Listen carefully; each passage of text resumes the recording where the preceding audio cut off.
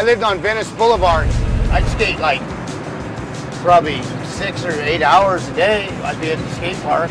So I had three driveways. The first one was really steep, and I, na- I, I used to call it pipeline. And then the second one went through these apartment buildings. They had a little downhill thing through these apartments.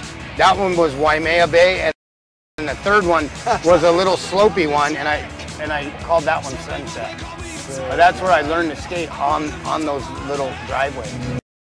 I used to skateboard down to the beach with my surfboard in my hand because I lived on Ocean Park. We'd skate all the way down Ocean Park and then just go down the bike path to POP Pier.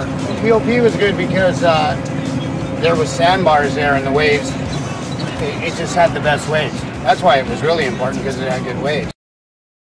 The north side of, of POP was Santa Monica, the south side was Venice. There was actually a couple little skate spots on the pier. We'd skate around on the pier after it was closed down and stuff.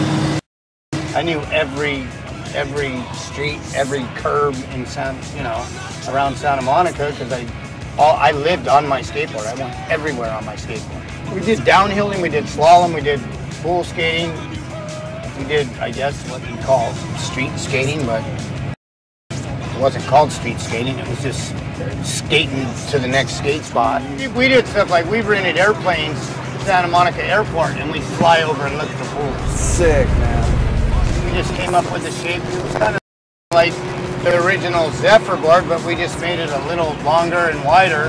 Then there was, I guess, the Z Flex board, and then there was the Jay Adams board. Mine was a little bigger.